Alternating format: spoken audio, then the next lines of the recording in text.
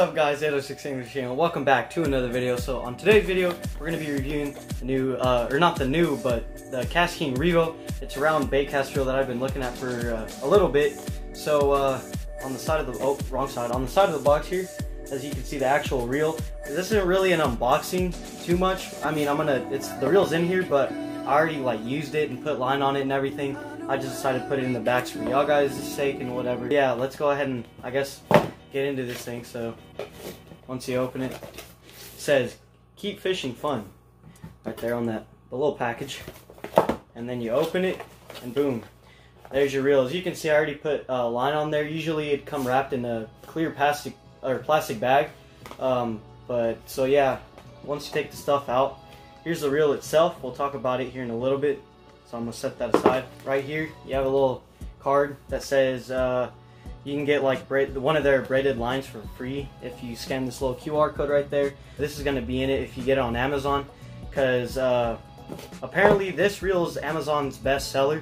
So I guess they did like an offer for Amazon's best-selling line, uh, which is made by KastKing. So sorry about that. So there's that, and I'm definitely gonna actually see if I can get this free line, because uh, who doesn't like free braid?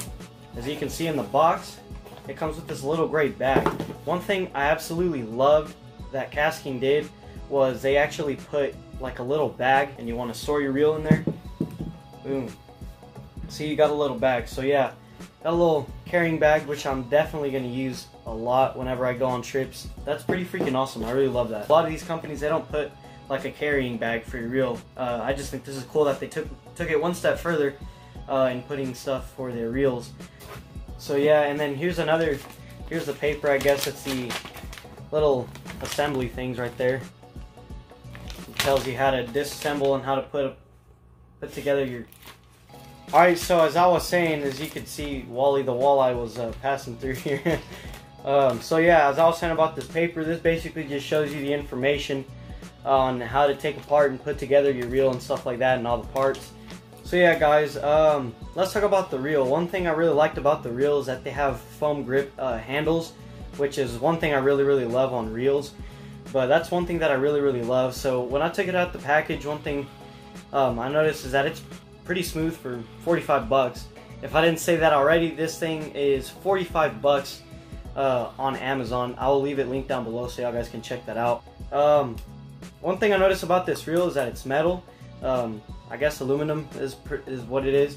And then um, when it, you first get the box, the uh, the clicker's gonna be on, so when you first take it out, it's gonna sound like this. So how you take the clicker off is there's this little knob right above the, the brake system. I think that's the brake system, but you just push it back and boom. Um, the casting is actually um, pretty smooth, it feels good.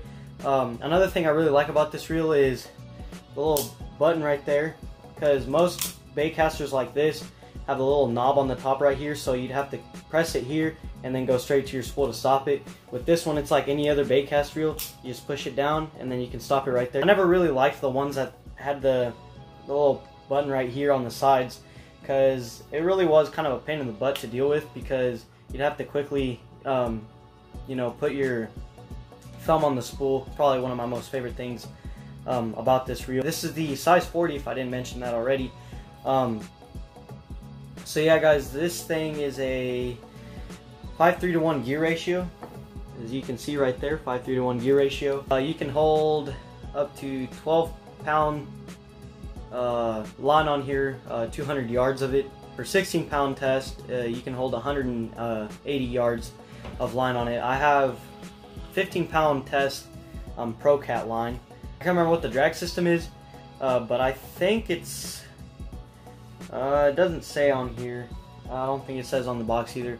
But I'm pretty sure it's maybe 15 um, pound dragger. It's a 6 to 1 ball bearing uh, reel as you can see right ah you can see right there on the top. I don't know how well y'all can see that. So yeah, I really really like this reel, I'm not gonna lie. It's a pretty impressive reel. I'm really gonna be using this really mostly for catfishing and stuff like that. That's why I got it for. Its main purpose is catfishing. Um, and I usually pair it up on two rods. I'm gonna go ahead and put it together and show you my main catfish combo on this thing. Alright, so here's my, uh, the catfish combo that I use most of the time. Uh, this is the Shakespeare Ugly Stik GX2 series. It's black and red. So this reel matches really, really well with this uh, rod. These GX2 series are really good uh, for catfishing. They're probably some of my personal favorite rods to use for catfish. So um, that's why I have this on here. It's probably some of the strongest rods out there too. This is a six foot six um, medium rod. So I like to use these for the catfish that I catch down at Park because it's not overkill and you can have a nice fight on them still. Here's the other uh, catfish rod that this reel is going to be paired up on. I usually use this for the bigger lakes and bigger catfish, but for Park, I don't think it's still overkill. It's a medium heavy, um, so I think you'll still get away with it just fine if you go use it at a Medi Park. It's an ugly stick um, catfish rod as you can see right there. And uh, this one looks pretty nice on this one too.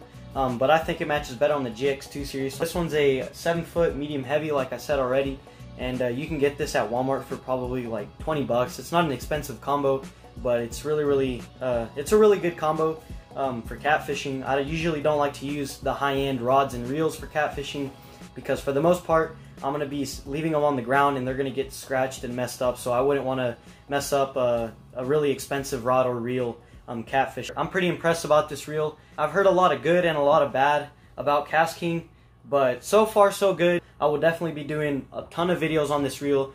Anyways, guys, that's going to be it for the video. Hope you liked this video. Let me know what you think. Anyways, guys, we'll see you on the next one. If you're new, go subscribe, leave a like on this video, and we'll see you next time. Tight lines, guys.